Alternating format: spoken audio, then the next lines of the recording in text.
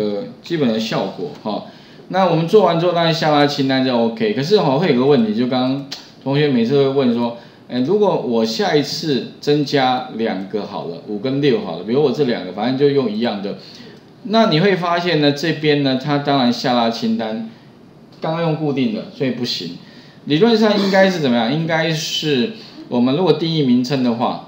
是要整栏，我刚刚讲过了啊，所以你可以什么从选取范围建立顶端列，打个勾按确定，好，但是问题来了哦，特别重要，确定啊它它以前有一个旧的，把它盖过就好，那你再切过来之后下拉清单是会增加，可是会有个问题，底下会有这么多空白，那主要原因是因为哦，就是因为底下这边本来有做了一有放过东西，而且你会发现这里面已经有藏一些东西了。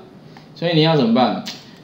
我我试过了，其实哦，把它删掉应该理论上是可以的。可是问题删掉好像它已经曾经放过东西，它就会一直以为它有东西了。所以呢，你即便把它删掉，你切过来看，你会发现那个空白还在。所以后来我试过哈，有一个比较好的方法，就是怎么样呢？你开一个新的工作表，把这一些资料有没有，把它复制之后哈。就把它贴上，而且贴上呢还要贴上什么？就是右键哈，贴上的话只有值，或者你用什么？用选择性贴上吧，我不好？我是按右键哦，这边有个选择性贴上，一二三这个只有值，只有值的意思是说哈，哎，我用最干净的东西贴，没有别的东西哦，OK。然后呢，我们再试一次哦，客就是可以将来可以把这个改掉了哈，客户编号有没有？如果我再做一次。整栏选取哦，OK，从选取范围建立顶端立按个确定，一样盖过盖过去，我看一下，哎，不知道怎么两个，哎，他指定的。哦，对，把这个删掉一下，哦，如果因为怕有重复哈，然后等于再选一次，重选取范围顶端列确定，那因为呢底下空白，不过哈，因为它底下的东西是干净的，没有东西啊，所以这时候我们来看一下哈，这个时候呢，哎。啊，是不是还有旧的？其实应该是已经 OK，如果这边改过的话，它应该是 OK 的。对吧？哎，应该是这个哈，应该按钮变小了。理论上呢，应该就可以哈，自动帮我抓到底下了。不过理论，哎，还是他记得一些东西吗？还有一些不好的印象，哎。理论上了哈，这个应该是里面也没有东西啦，哦，整栏选取，好啊，这个理论上应该是这样 OK 啦，因为我试了很多次，应该是 OK，我看里面有没有别的东西，只是对啊，这样应该 OK 啊，哈，还是说好不，这大概知道一下了，哦，也许细节，那再来的话呢，其他部分也这样，呃，我们选取范围 v 函数将来也是一样啊，所以刚刚是选。A、B、C、D 四栏，然后选的时候可能就让它怎么向下再向下吧，整个选起来。这样以后如果你有多东西的话，那我们名称管理员里面有没有？呃，就是刚刚是定义一个叫什么叫客户表，对。那这个时候呢，你选，如果说你希望如果向下增加列的话，也能够跟着走的话，这个哈可能客户表也要再更新一下，好，所以这边的话把那个客户表再更新一下，好，这样的话。将来呢，除了说下拉清单，好更新之外的话，这边也可以哈，把它做更新哈，客户表，OK，大概是这样的哦。我们等下再看一下在哪边试过是 OK 哈，然后这边客户表就有了 OK。那接下来的话呢哈，底下还有那个下拉清单的部分，就是商呃商品编号，那商品编号一样的道理好。我们一样怎么样？把这个不过一样啊，这底下的东西它已经有多一些东西，所以我选的时候，从选取范围建立顶端列。好，第二个的话呢，在这边呢，把它建一个所谓的商品啊，叫商品表好了的一个名称哦，Ctrl C，然后呢，再把它选这个范围，不包括栏位名称上面的部分的话啊，做一个商品表。哦，OK，这样的话呢，我就。也是在这个范围里面，因为我希望能够这个范围里面，只要呢使用者选取哈，它就可以下拉清单出现的话，一样到资料里面的资料验证，把它改成清单，一样按 F 三去找到刚刚的那个商品编号，OK，好，按个确定，下拉清单就出现了。那一样嘛，当我选这个的时候呢，它能够帮我查查什么呢？查啊这个商品表里面的这一栏跟这一栏出来。所以基本上的话呢，做法哈跟刚刚这个上面是一样的。甚至可以把把这个拿来复制贴上，应该也 OK，哦，稍微改一下应该也 OK。那我们第一个逻辑一样了哈，所以我大概就第二个商品表有了哈，所以呢我直接可以怎么样把这个刚刚的公式贴上，那把这个对照到这一个，好，如果它不等于空的，那呃如果它是空的，那我也是空的，不然的话呢就是怎么呢？去根据它。去帮我查什么呢？查的是 F，把它 delete 掉，帮我查商品表的第二栏完全比对，打个勾就可以了。好，所以基本上呢，前面做过的可以拿来复制，哦贴上，哎，没有错。那再来的话呢，哈，这个再复制公式，单价因为只有差一个地方，哪里呢？这里有没有？本来是第二栏嘛，商品表的第二栏是品名嘛，哈。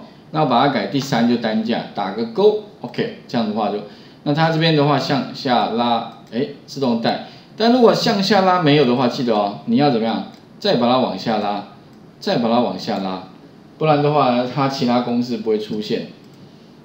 应该可以看得懂了哈。那序号的话呢，我们希望如果选了这个，它出现零一、零二、零三，哎。那这个地方的话呢，当然如果要自动出现哈，你可以用什么呢？插入函数里面呢，检视与参照里面的什么，自动产生 row 有没有？因为呢，去反查它现在在哪一列，给它现在在第七列，所以我把它减掉多少呢？减掉六，打个勾，哎，这个时候，那你向下填满呢，它会自动出现，是没错。可是呢，我希望它跟它是联动的。所以一样嘛哈，你就是嗯哈不这个这个之前的，第二个是我如果希望呢它是两码，比如说是零一零二零三的话，那我前面讲过，你可以把这个肉减掉六，插入到一个文字函数，我还记得吧？格式化的的那个函数 test，把刚刚的 row 减六贴上，格式的话呢记得哦两码还记得吗？零零，但是要记得哦，因为它是 format test，前后请你务必要加什么双引号，如果没有加就会出错哦。OK 哈，这个因为前面讲过，然后向下填满，当然它会效果出现，不过底下不应该出现，却出现了，怎么办？一样的道理，把它什么剪下来，放到那个 if，最近使用过了 if 的，如果它等于空的，好。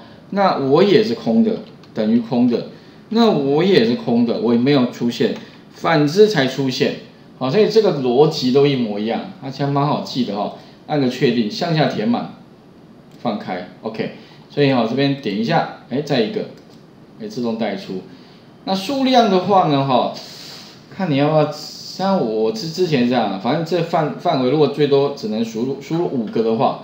那我就怎么做？最多五个哦，那我就不做清单，我就直接到资料验证资料的资料验证里面哈，直接在这边变成清单，然后呢输入一逗点二，这样看你要几个，那这样是只有五个，OK，最多你能只能买五个啦，可能有有一个限制，你会发现一二三四，那用这个好处是，这个方式呢哈是不需要。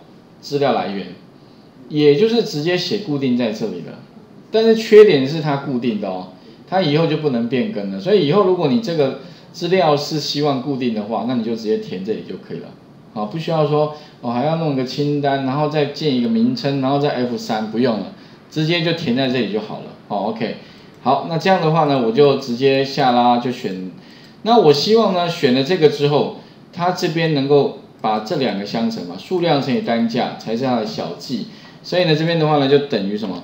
等于单价乘上数量，OK，打个勾，但是还是一样的问题，向下拉它会出现，啊，所以怎么办呢？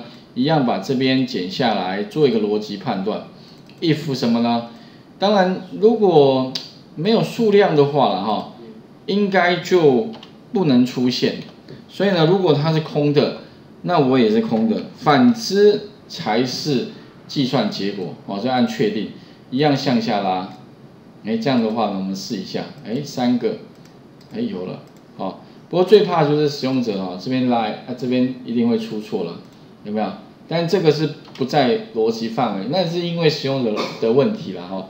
这永永远没有想完哈，所以你一定要照着这个逻辑，先选白色区域。所以你会发现这个白的嘛，只能点白的。